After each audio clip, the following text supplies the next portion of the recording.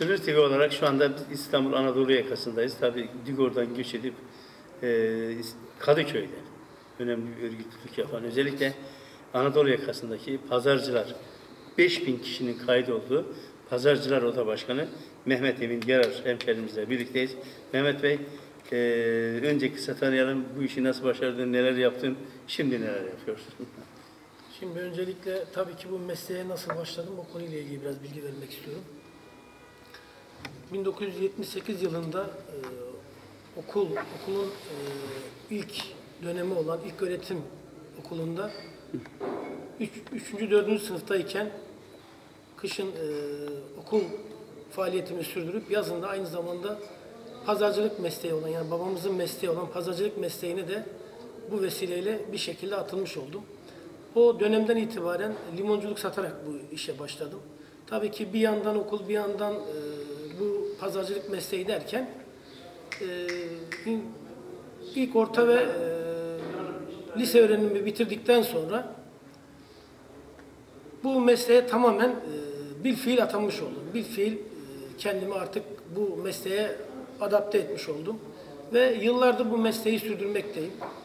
E, bu mesleği sürdürürken tabii ki bu mesleğin çeşitli zorluklarıyla karşı karşıya kaldık. Özellikle e, şu anda Türkiye'nin en büyük metropolü olan İstanbul'da bu pazarcılık mesleğini icra etmek hakikaten büyük bir e, efor gerektiren, büyük bir zahmet gerektiren, büyük bir e, çalışma gerektiren bir durum oluşturduğundan bu mesleğin özellikle İstanbul'da daha iyi koşullarda, daha rahat koşullarda, daha modern koşullarda yürütülebilmesi anlamında çok ciddi anlamda eksiklikler gördüm bu mesleği icra ederken. Tabii bizden önceki e, oda yönetimi döneminde bu e, eksiklikleri e, görüp kendilerine e, defalarca bu durumu aksetmemize rağmen hiçbir şekilde e, bizim bu mesleğimizi temsil eden e, yönetimin ve yönetim anlayışının bu soruna eğilemediklerini, bu sorunun çözümü konusunda gerekli çalışmaları üretemediklerini gördüm.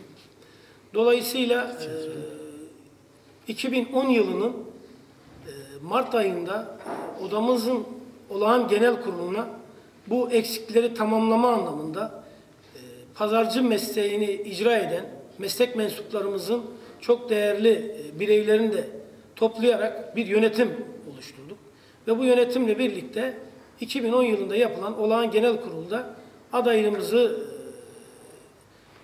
e, ortaya koyarak burada bizim meslek mensuplarımızın da büyük bir teveccühü ve e, desteği doğrultusunda bu göreve bu şekilde atanmış oldum. Ve 2010 yılından beri de bu görevi sürdürmekteyim. Tabii ki e, az önce de belirtmiş olduğum gibi e, bu mesleğin içinden gelen biri olarak bu meslekle ilgili sıkıntıları, sorunları ve bu sorunların çözümünün neler olabileceği konusunda da olaya vakıf olan bir kişi olarak bunun çözümü konusunda ciddi anlamda çalışmalar başlattık. Özellikle odamızın resmi kurumlarla olan iletişimleri hakikaten e, çok e, sıkıntılı bir seviyedeydi.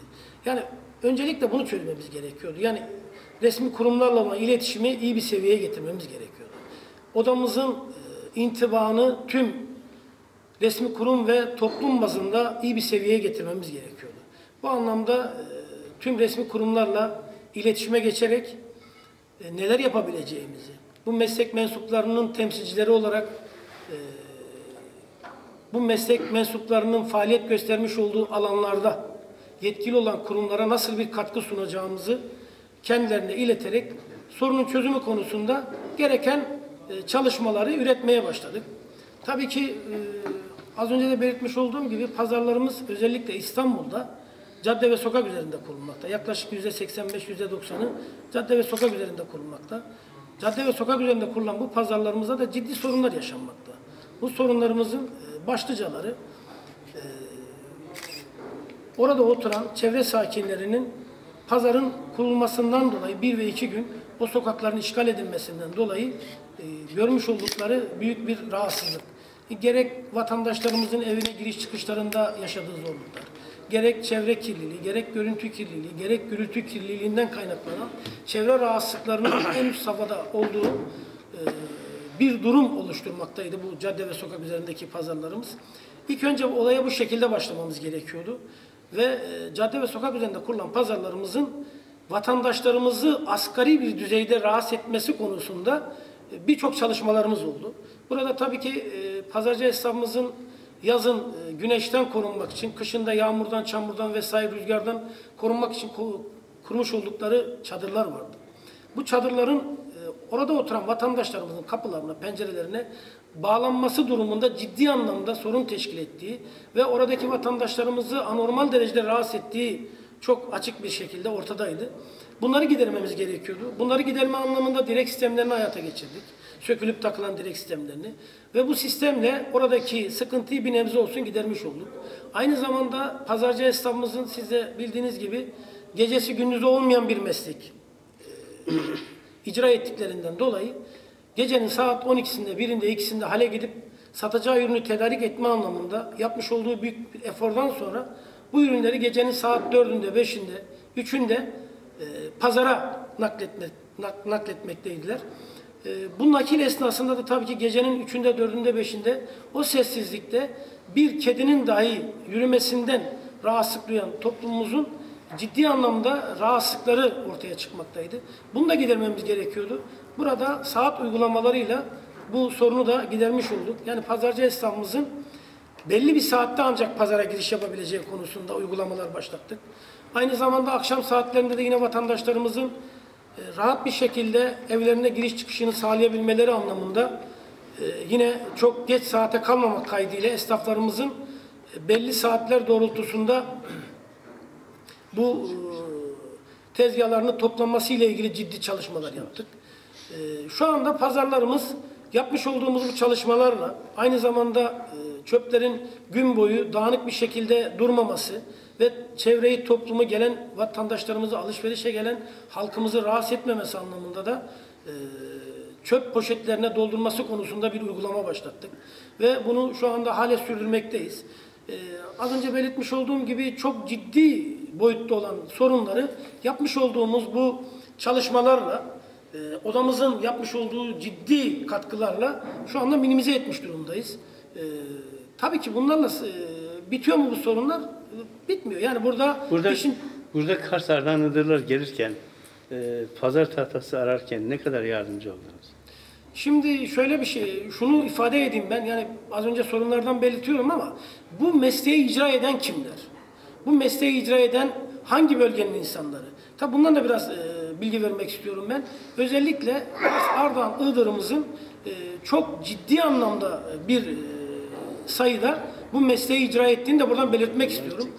E, yani pazarcılık mesleğini özellikle Anadolu yakasında gösteren e, meslek mensuplarımızın ciddi sayıda bir e, Kars, Ardahan, Iğdır e, dan gelen kişiler tarafından icra edildiğini de burada e, belirtmek istiyorum. E, bu insanlarımıza tabii ki e, bu bölgenin, bu ilim bir temsilcisi olarak hizmet etmek de bilahare bizi aynı zamanda mutlu etmekte. E, bundan da yani bir hoşnutluk duymaktayız. İnsanların kendi e, hemşerilerine, kendi bölgesinin insanlarına böyle bir metropolde hizmet etmesi herhalde herkese nasip olmaz diye düşünüyorum. Bu anlamda da yapmış olduğum çalışmalarda hiçbir rahatsızlık duymuyorum. Ve göreve geldiğimizden beri bu sorunları giderme anlamında, esnafımıza katkı sunma anlamında, çalışmalarımızı daha üst seviyeye çıkarma anlamında e, yapmış olduğumuz faaliyetlerde göstermekteyiz. E, tabii ki bu yeterli mi? Yani e, çalışmalar e, ne kadar devam ederse, ne kadar üst seviyeye çıkarsa ve e, basamaklar ne kadar hızlı bir şekilde aksedilirse e, toplumun rahatlığı da o seviyede o kadar daha iyi bir konuma gelir. Kars Ardahan Iğdır ile duygularınızı alabilir miyiz? Şimdi Kars, Ardahan, Iğdırlı olarak e, bir kere İstanbul'da e, İstanbul'un dışarıdan gelen, dışarı, dış illerden gelen, Anadolu yakası, Anadolu'nun tüm illerinden e, İstanbul'da oturan bir e, kitle olarak ikinci bir sırada olması ayrıca e, Kars'ımızın e, büyük bir potansiyel olduğunu, büyük bir güç olduğunu ve burada yatsınamaz, önemsenemez ve e, dışlanamaz bir pozisyonda olduğunu buradan ifade etmek istiyorum. Yani Kars, Ardahan ve Iğdır'ın şu anda diyebilirim ki ikinci bir il pozisyonda olması hasebiyle burada daha etkili bir pozisyona gelmesi gerekiyor. Temsilcilerimizin, buradan çıkan üyelerimizin, bireylerimizin bu ilimizi, bu üç tane ilimizin yani bir parça olarak, bir bütün olarak bulunan üç tane ilimizin e, bir arada olması hasebiyle bir temsilcisinin en azından bu ili, bu metropolde daha iyi temsil etmesi anlamında da e, ciddi bir katkı sunacağı düşüncesindeyim. Bu e, temsilcilikler tabii ki e, sadece resmi e, kurumlar değil, sivil toplum kuruluşları değil veya meslek örgütlerinin temsilciliği değil, aynı zamanda ülkenin yönetiminde de yer alması gerektiği düşüncesindeyim. Bu anlamda da tabii ki e, tüm halkımızın, Kars, Ardahan, Iğdır halkımızın e, bu konuda ciddi bir bütünleşme sağlaması gerektiği e, ve bu bütünleşmeyle de iyi bir e, olgu içerisinde, iyi bir algı içerisinde birbirini tamamlayan, birbirini bütünleyen ve birbirini her anlamda destekleyen bir e, algı içerisinde temsil edilmesi gerektiği düşüncesindeyim. Bu anlamda da e, tabii ki e, bu ilim, bu illerimizin e, güçlü olduğunu göstermemiz gerektiği düşüncesindeyim. E, tabii ki şu anda yayını yapan Sınır TV e, başarılar diliyorum ben. Yapmış olduğu bu güzel çalışmalarını da sürekli takip ediyoruz. Ee, özellikle yeni televizyon olması hasebiyle de inşallah e, toplumumuzun tüm bireyleri tarafından izlenen, aynı zamanda sadece Kars, Ardahan, Iğdır değil de Türkiye'nin tüm illerinde izlenebilecek bir konuma gelebilecek olan bir e, televizyon kuruluşu olarak çalışmalarını devam ettirmesini de buradan temenni olarak e, söylemek istiyorum. Teşekkür ederiz.